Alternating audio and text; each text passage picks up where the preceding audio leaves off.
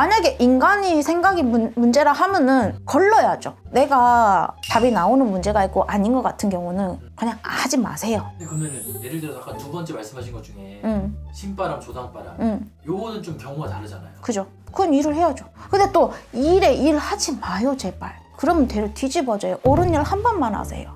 그러면 돼요. 제발 구세굿 하지 마세요.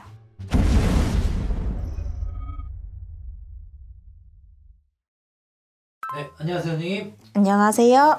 무속에서 보는 밤에 잠을 못 자는 사람들의 특징. 생각이 많아서 첫 번째는 진짜로요 찾아오는 사람 그런 분들 많죠. 열의 여덟은요 생각 과다로 인해서 그러신 거고 나머지 둘은 아무래도 조상의 영향이 있는 분들 신바람이 부는 분들 조상 바람 부는 분들도 있겠고 또 하나 터 어, 어, 머리는 북쪽으로 두고 자면 안 되잖아요 법당을 할 때는 북쪽으로 해요 조상님들이 왕래를 하셔야가 그 점사를 보는 거잖아요 어.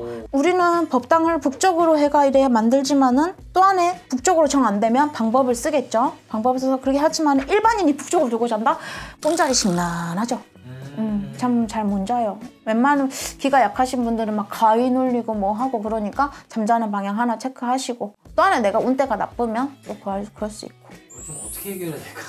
만약에 인간이 생각이 문, 문제라 하면은 걸러야죠. 내가 답이 나오는 문제가 있고 아닌 것 같은 경우는 그냥 하지 마세요. 너무 복잡하고 깊게 생각해서 그래요. 심플하게 간단하게 가지치면요 별거 없어요. 근데 그러면은 예를 들어서 아까 두 번째 말씀하신 것 중에 응, 신바람, 조상바람 응, 요거는 좀 경우가 다르잖아요. 그죠. 그건 일을 해야죠. 근데 또 일에 일 하지 마요 제발. 그러면 대로 뒤집어져요. 옳은 일 한 번만 하세요.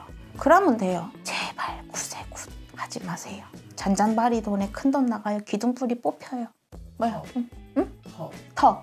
터요? 네. 어, 일, 그래서 보통 문제점은 어떻게 그러니까? 만약에 내가 머리 방향을 잘못해가지고 일단 그게 제일 쉽잖아요. 머리 방향 바꾸는 거는 네. 그거를 해보세요. 근데 그래도 아- 그런다. 그러면 아마 이제 제자분 집에 가보면 이유가 나올 거예요. 그거는요 터가 붕 떠서 그럴 수도 있고 그거는요 간단하게 뭐 부적으로라도 가라앉 대부분이 가라앉힐 수 있거든요. 음, 어, 간단한 처방으로도 또 안에 부적까지 갈 것도 없이 간단한 처방만으로도 되니까 그렇게 하시면 돼요. 일단 여기 진단이 필요하네요.